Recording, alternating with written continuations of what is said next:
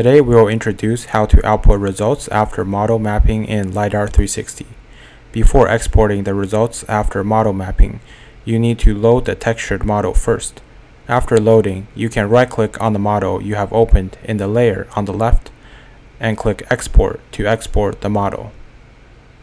After clicking Export, the software will pop up a dialog box to save the file as, and you can export the model as a model file in OBJ, FBX, DAE, or JSON format according to your needs. For example, you can export the model as a model file in OBJ format, and then click Save.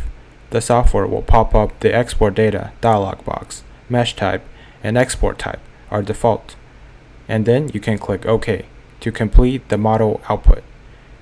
You can open and view the output OBJ model through another modeling software or view it through LiDAR 360.